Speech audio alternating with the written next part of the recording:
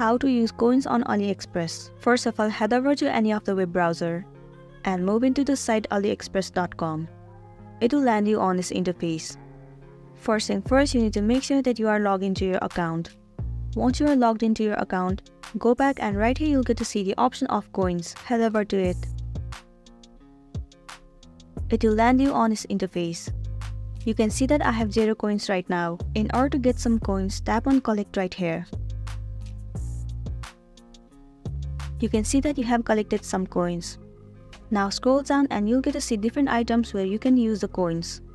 Head over to any of the items that you want to buy. Let's say I want to buy this product. Tap on it. Right here it says that extra 5% off. It means that if you have enough coins, you'll be able to get the 5% off in this product. If you have enough coin and you want to use it, then tap on buy now. So basically when you buy this product, you will automatically get the discount with the help of your coins that you have. You don't have to move into any other process in order to use the coin.